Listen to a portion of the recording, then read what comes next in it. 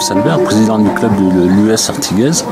Donc on a organisé aujourd'hui un vide-grenier avec euh, le, club de modélisme de Libourne qui nous ont fait une petite démonstration de drone euh, sympathique.